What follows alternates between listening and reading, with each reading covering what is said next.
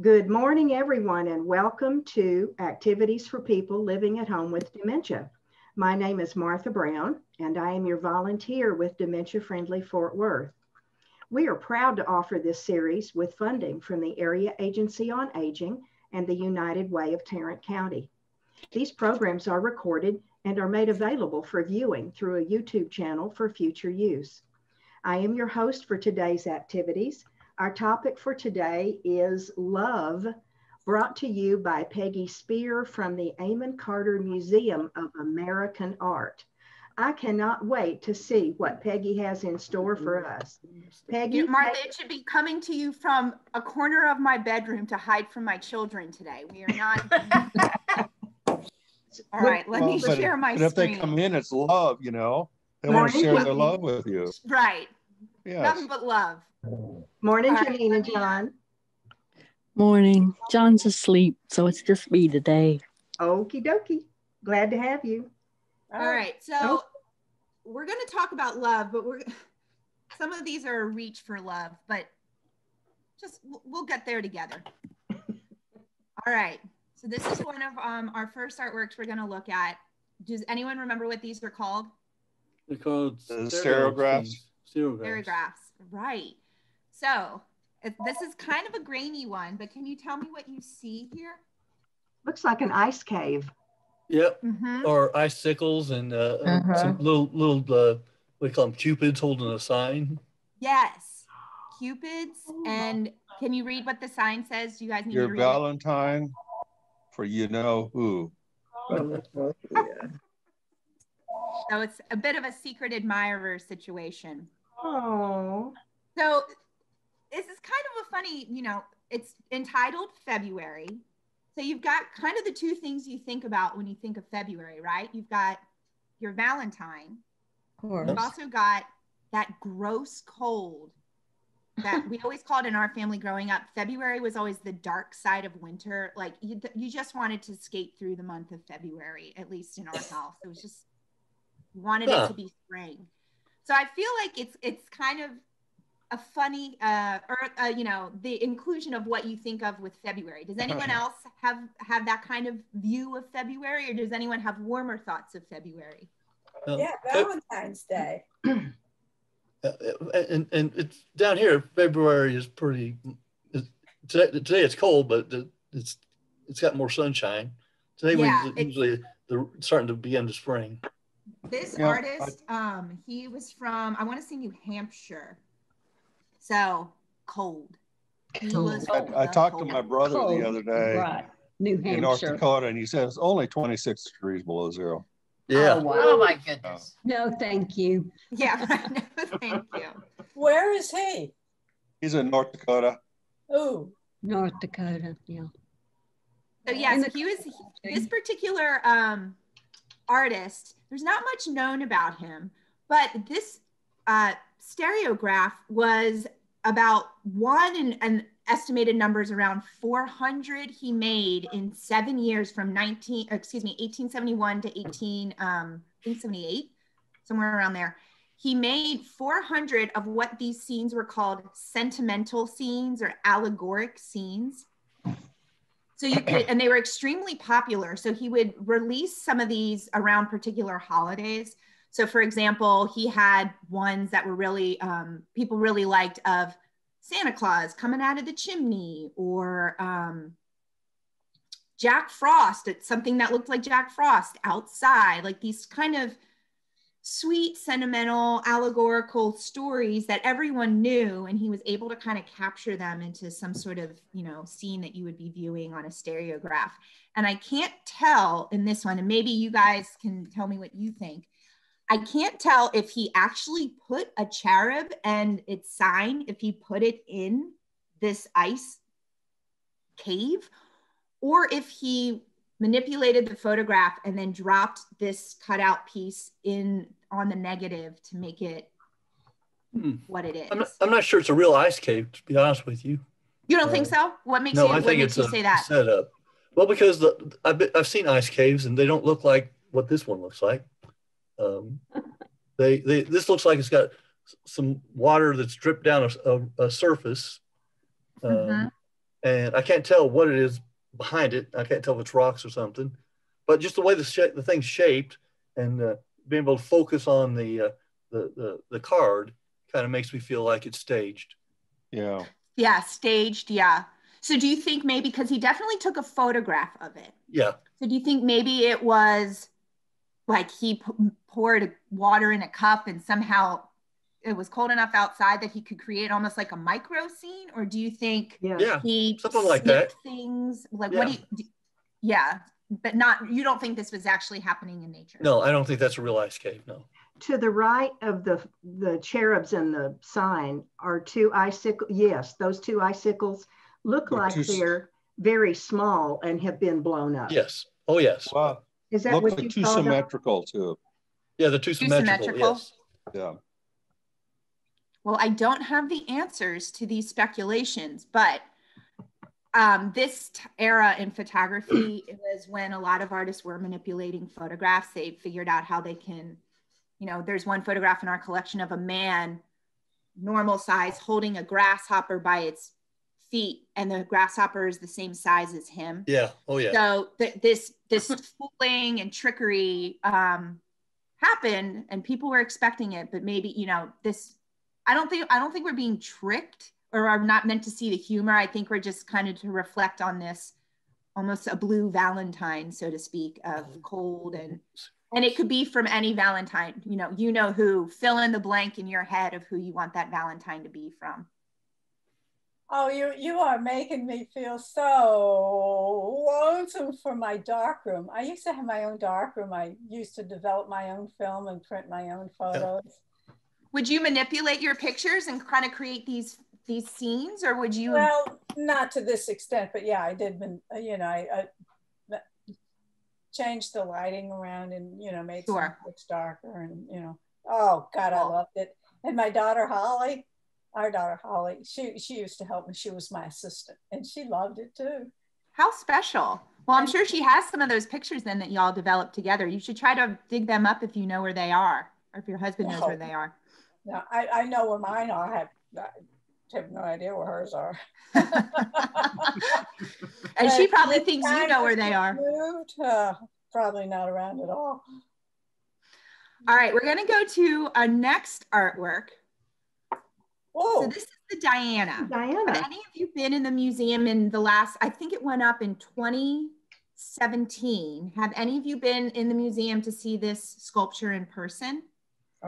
I saw it at the Bass. Martha, I'm glad you said that. I did oh. not pay her to say that. So you saw her, but what what color did you see her in? Gold. Gold. So this particular artwork, first let me tie it to the love theme. This is of the goddess Diana. Does anyone know the story of Diana? Her brother said she was a huntress. Yes, she was the god of uh, goddess of hunting, and to live her life as she wanted in the woods, um, she was to to never marry, to be a virgin her whole life, um, and that was kind of the trade off. So she could live the life she wanted. She had to give up something that some you know women might want. So anyway, one day she was out hunting, and she was ba- or she was bathing actually before she was hunting and she noticed the hunter Actaeon saw her. And because of her of the deal she was not allowed to be seen in the nude. And so she splashed her water onto Actaeon the hunter and Actaeon turned into a, a dog i believe. No a deer excuse me a stag. And then his own dogs hunting dogs killed him. Oh. So this is we my the curator of this particular piece always calls it a frustrated love. Um, Actaeon was excited to see her, but then punished for seeing her and eventually killed. So this sculpture is of of Diana, the goddess, naked, hunting in the woods. But what is she missing that we can kind of fill in in her hands? Bow and arrow bow and mm-hmm. arrow. Yeah. yeah. So this is the cement version, and this uh, you can't really tell for scale. This is about um, 13 feet tall. Ooh.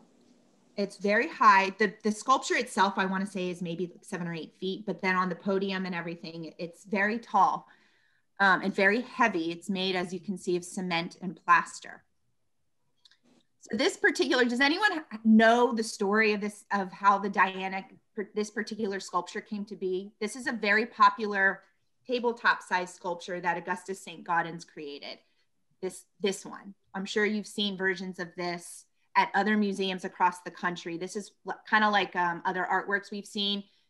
Any museum worth its weight in salt has a version of this. You could have bought it, bought it at Tiffany's in the day. Um, so this is the tabletop version. You might have it on, you know, a, a credenza or on your mantelpiece. This was much larger. Any guesses on what this might have been used for when it at this size?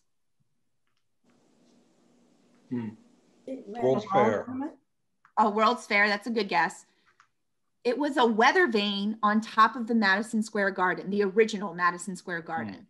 Wow. So the original version of Diana uh, that went on the building was 18 feet tall. Well, they quickly realized that this was way too heavy to balance and work functionally as a weather vane. She had like a, a draping um, cloth almost on her. It was too heavy. So they scaled it down to 13 feet. And it, and it was up on the Madison Square Garden for a while under electric lights. So in the in the mid 1800s, what do you think the reaction was of a naked woman higher than the uh, Statue of Liberty under electric light? What do you think people thought? Scandalous. That's Scandalous. Right. Oh, it was the drama of the century having this woman naked. And so many women claimed to be the model for this particular sculpture. and and we don't know who the model was, but it, in newspapers, it was interviews with who the model was and things like that. And it's not true. So this for um, a few years was up on Madison Square Garden, and then they tore the Madison Square Garden down. So everybody had a, a an interest in what was going to happen to this Diana because she really was kind of a sensation in the city. And and this this topic of Diana or this subject Diana was typically an artist's way of at that day and age uh, creating a nude. It was a you know because the goddess was nude in nature that was their way of getting away with depicting a nude with and so there, there was still a little scandal to that. Well, anyway, they took her down and she went to the New York City Museum um, and, and was in hiding, so to speak, was in crate storage for years. Well, it, it turned out, and I'm going to play a, a, it's a five minute video. It's going to talk about the conservation. We made it here at the museum, and it's really interesting because I can't do justice to how beautifully conserved this was. It eventually came to the Amon Carter and it came in two pieces. We had it in storage for two pieces and we didn't know we had it in storage. It was kind of one of those crates that just, it wasn't on any curator's radar. Um, but the Bass Hall one, a sculpture, this was the, the, the cast model that was used for the Bass Hall one. And this was the cast model that was used for the, this version in gold at the Met, Metropolitan Museum of Art in New York City. So we know she has two daughters, so to speak, um, that generated from this cast. And this exact cast lived in the backyard uh, when it when it was created. This cast was then put. Um, it was in the museum for a while, but it was also in um, Stanford White's backyard. Stanford White was the architect of Madison Square Garden. He loved it so much on the top of, of MSG that he had it for his own backyard and it lived for a while outside, not protected in the elements, this cement plaster cast for a very long time. And then it eventually came down and that's when it entered into museums and things like that. So I'm going to play this video. Um, it's five minutes, but it really is a wonderful way to hear how we then brought Diana back to life almost 100 years later. Let me know if you can hear it.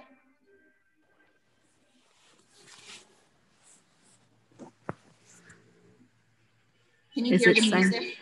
No. No. Okay. All right, I'm gonna pull it up on um, YouTube then. Stay with me.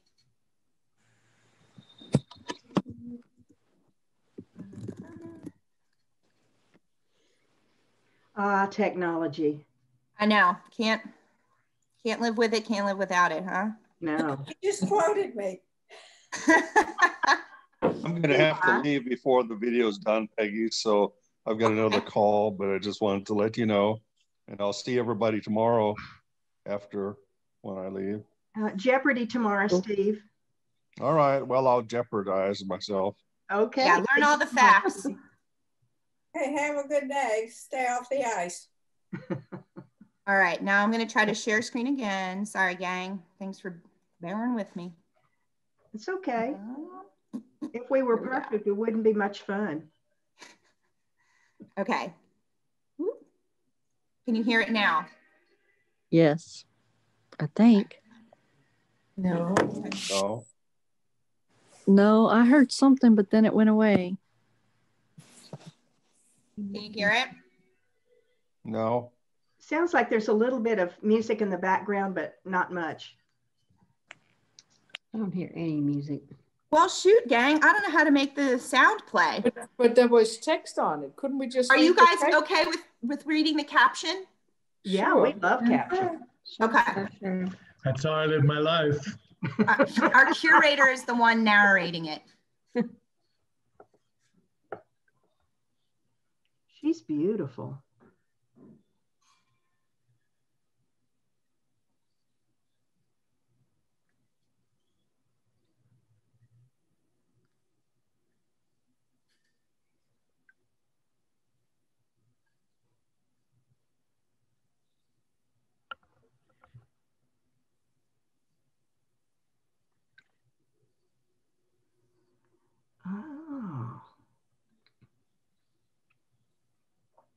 Mm-hmm.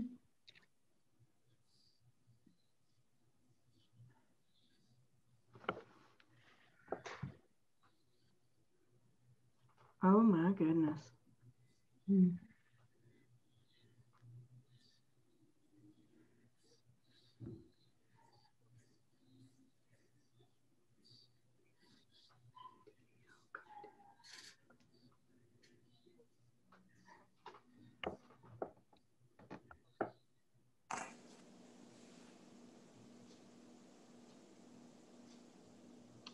That's beautiful. That's my girl.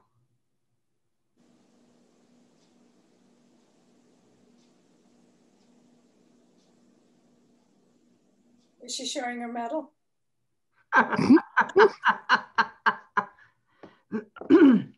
Sorry.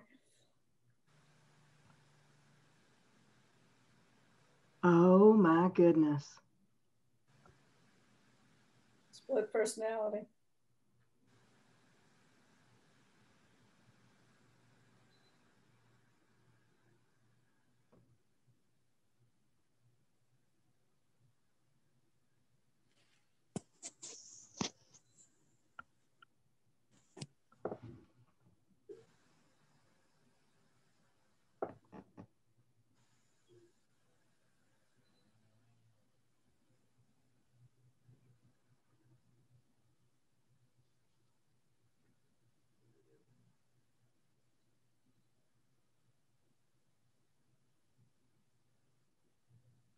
Huh.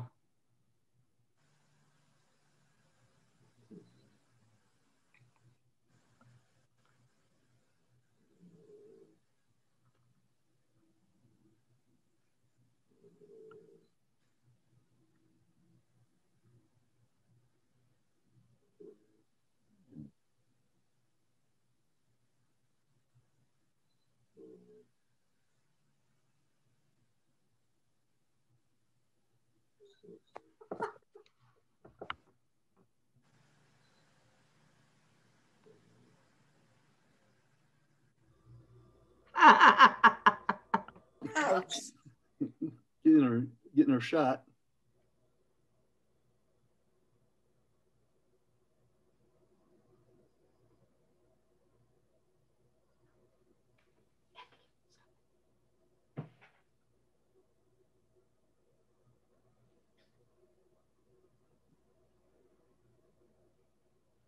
Hmm. Very good.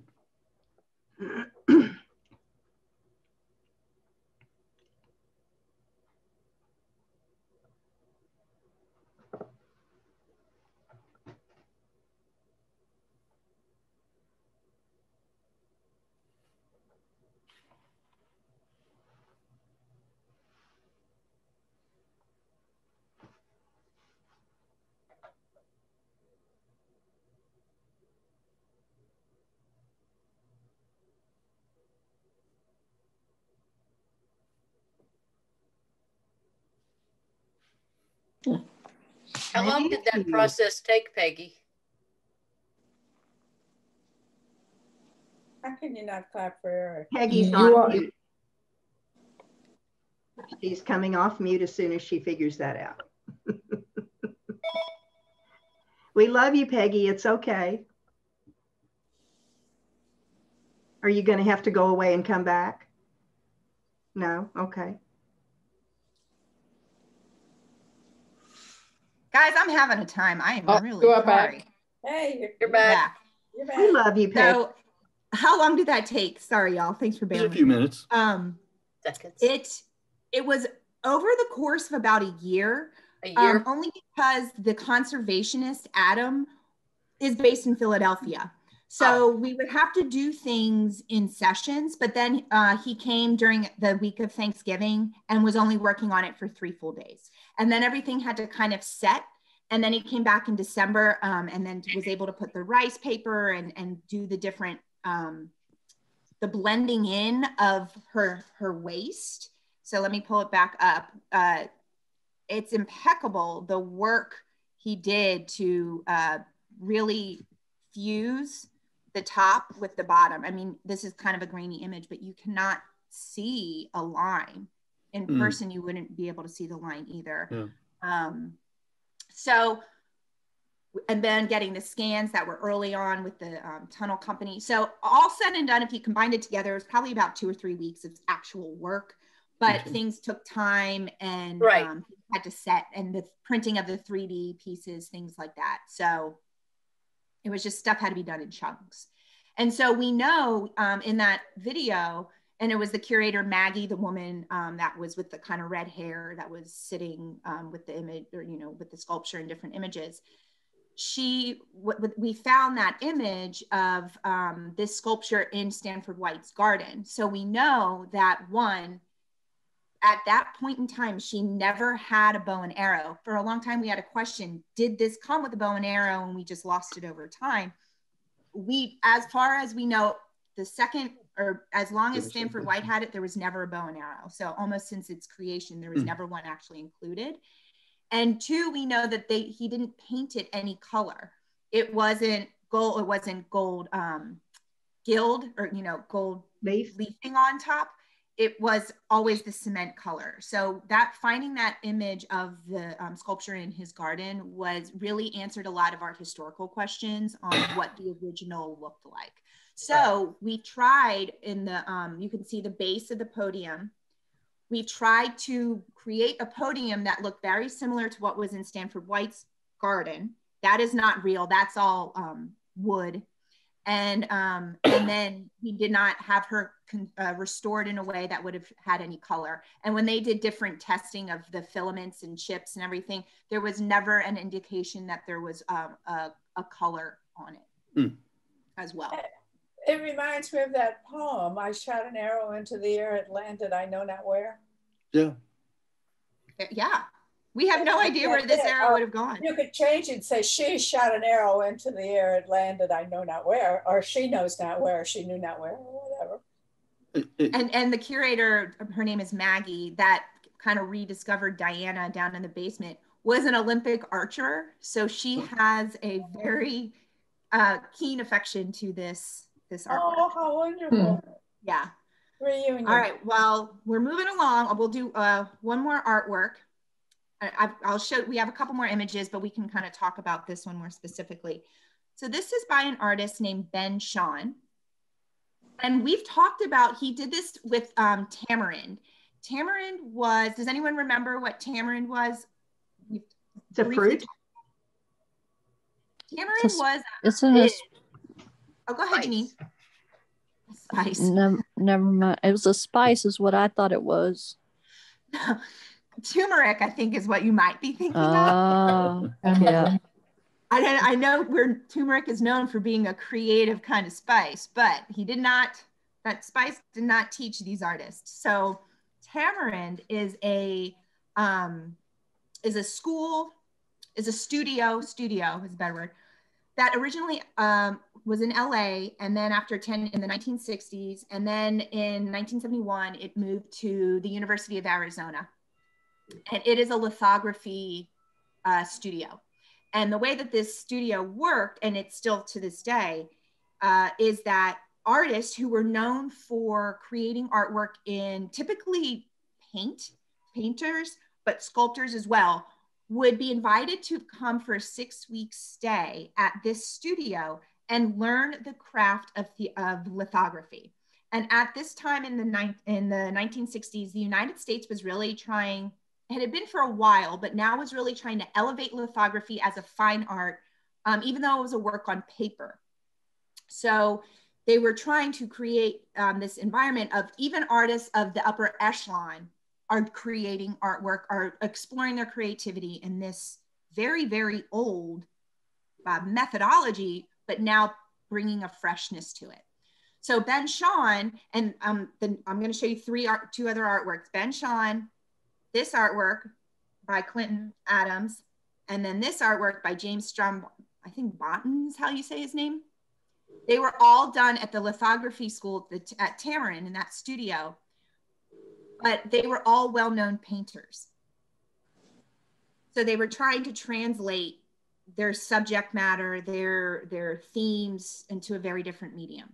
Ben Shahn was had his uh, his tenure, not tenure, his stint um, in 1968, and he died in 1969. While when he was in the prime of his career, he was really well known um, artist. While he was creating, uh, he had he was an immigrant from Lithuania, and then created a name for himself. He initially started in lithography, then went to painting. He dabbled in other things like photography. Um, but by the time he was making this in 1968, he was no longer doing the social realism that really made him famous he was creating more from his emotional um, state at that point. So, can you, what do you see here that you might relate to, not relate to, like, don't like?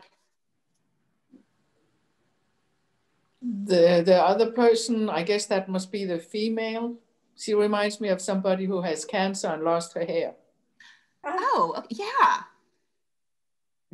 Yes. So we don't, so Ben Shahn was married to a woman named Tilly. We don't know if this is a portrait or just a depiction of, of a warm embrace. Before I saw the title, to me, it looked like a like a child, but not a child, a grown-up child hugging a parent for that same reason. The hair was kind of thinning and missing. And then I saw the title as making memories of or memories of making love, which I was like, okay, then this is not a father, son, daughter scene, it looks, whatever. It looked like a baby to me until I saw the size of the other hands. Yeah. yes, baby. Yes, the hair is what's really kind of throwing it off. I feel. Mm-hmm. Yeah. I like Yetta's interpretation. Mm-hmm. That, that's yeah. how hair looks when it comes back. Mm-hmm. Yes. I know by experience. Yeah, so it's yeah. he was creating these artworks at this time in his life that were very graphic that allowed some viewers to kind of put themselves in that scene. This is a very relatable type of embrace for most people. And so Yetta, you did exactly what he was hoping. You kind of saw yourself in that embrace. You were able to, you know, see parts of you, even though we don't know who these people are. Mm-hmm but this is a very tender scene. It's I don't know if and when this has ever been on view in our on the walls in our museum, um, but it's one of these art one of these artworks that everybody has in their museum as well. And and you can actually this artwork and this artwork are still on auction in the marketplace right now. So you can go to different auction houses and be able to buy um, these prints. They're still in circulation. So these are the other two. This is another artist that um, was at the Tamarind uh, uh, studio. This particular man was actually the um, director of the Tamarind studio. He was a professor. So he, when he was in LA, he was running it. And then he took a professorial job at the University of Arizona and then was still able to be the director of this um, studio. So he um, had a lot of experience with lithography, but he was also a painter as well. And so this one is, the title is Astarte. Does anyone know who Astarte is? For all you mythology yeah. buffs, this is a, a Hebrew or Egyptian god of love and sexuality. So we see hmm. the, the heart. Um, and there's not much written about what the meaning of this artwork is, but I think it's very beautiful. It's very simple. Does anyone like this one or not care for it or? Mm. Nah. Yeah, yeah. It's just okay. Yeah. And then this is body the parts. It kind, yeah, it does look like body parts. Yeah, it sure does yeah it's not, it's not and it's not like the chambers of the heart either. There's not enough chambers. So there it, it's very it looks like body part esque a lap picture. A lap picture yeah. Someone reclining in their beach chair taking pictures of their knees you know? Oh, yeah, it looks, it looks to me like a woman in a strapless bra and a low cut dress but it's got hair on her chest. Uh, that, that, that is probably the genitalia that's my thought. Yeah. And yeah. taking That's from what you below thought? and up. Yep. Yeah. Yeah. All yeah. So seemingly innocuous upon closer review. and then this is the last one I have. And um, this particular artist, it was again known for being a painter, but he was um, invited to come to Tamarind for a stint. And um, and was again he was a graphic artist in general so his art still remained very graphic when he went to um, this type of medium. But can anyone guess where he might have studied art before he uh, came to the Tamarind studio? New york. Close. Well he wasn't i don't actually think he was from new york. He might have stayed there for a little bit. I don't think he went to school. He ended up being a professor so he was, I'm sure, involved in the New York circles of art. He was um, in Rome, Italy on a Guggenheim scholarship for a while. Oh. So you can't go to Rome without seeing a crucifix or 2 mm-hmm. And so I, I think that that trip had a lasting impression on him. Is this the how do we feel about this art? This is kind of different than stuff we've been viewing. What do you think about this one? Um, I've never seen the uh, the fabric looks like on the arm of the cross there. Yeah. Yeah. I don't understand so that. that. Like fabric to you? It's what it looks like to me. What is it? Yeah. What's what do thing? other people see? Um, maybe a hand. A hand. That's good. So. Yeah, I can't. I can't tell. I'm with Dusty. I like think it's fabric. Fabric. Yeah. It looks like a robe or something, a cover. Yeah. It looks like a torso when you enlarge it. huh. Yeah, I it can looks, see that. Uh, yeah. yeah. And I, and it's to me, the the woman laying across the bottom and the crucifix seem very disjointed, but because love is written on the top, you're seeing maybe two very different types of love, more yeah. of a a selfless yeah. love and versus more of maybe a, a lustful love. I don't yeah. know. Does yes. anyone kind of get that feeling? Yeah. Yeah. Eros and agape. To me, that thing on the cross looks like a, a naked body draped over. Yes, I see mm-hmm. that. Huh? I that's yeah. Good point. Yeah, I can see that too. There's the. Wow. See, this is why I love our conversations. Everyone brings different points of view to make you kind of see it in a different angle. well, as we know, Valentine's is this weekend, so I wish nothing but love for all of you. Thank you. Thank you. Next week, next week we're doing Black History. Um, and then Gail had, I guess Gail shared my email address with y'all. And if you have any interesting themes, you can tell me here or you can shoot me an email. I got Martha's today. And Martha, you had some great themes. Unfortunately, we're an American Art Museum, so I can't hit you with your your um, Van Gogh or your Louvre. We don't we don't have them in our holdings, but but do you have any dinosaurs? a lot of other ones I can help you with. Okay, and look up my boyfriend that used to be a painter. oh, I, I, didn't realize there was a love connection there. I just there was a love friend. connection. Yes. Well, I will look him up for sure and see if we have anything in our collection. But if you guys have any themes, I know we have Black History next month, and then um, the following week we have abstract because that was something Janine said she was interested in seeing. So oh, that abstract will be coming down the pipe. But any other themes, I am open and ready. It makes it easier for me to make sure I'm talking about things you guys are interested in. Do you have any impressionistic? Forrest. Thank you. Thank you. Thank you. It's always interesting, Peggy. Yes, it is. I'm I'm glad you guys aren't sick of me yet. Sherry right, well, just said Southern you. art. I just, yes, I just made a note, Southern art. We've got plenty of that. Um, don't you worry. We'll throw it at you. Um, all right. But yeah, if things hit you over the weekend or over the next couple of weeks, you know where to find me. So in the meantime, Do you have anything? Valentine's Day, stay warm, and I will see y'all next week. Stay healthy. Thank you. Stay healthy. Happy Valentine's Yes, wow. That's pretty impressive, I think. Yeah. And I didn't hear either child. Oh, no. Uh. Um, we have the uh, Fifth Street Cafe starting at 11:15. So when we get through with um, with this part, we'll just roll right into it, and I'll stop okay. recording. Okay. Uh, tomorrow we are playing Jeopardy, and I have written two Jeopardy games, and I hope they're not too elementary, but they're all about love. And some of them will challenge you, and some of them you're going to say, Why did she put that in there? so this ought to be kind of fun. Well, good. I'm I look forward to it, Martha. Thank you. Yeah.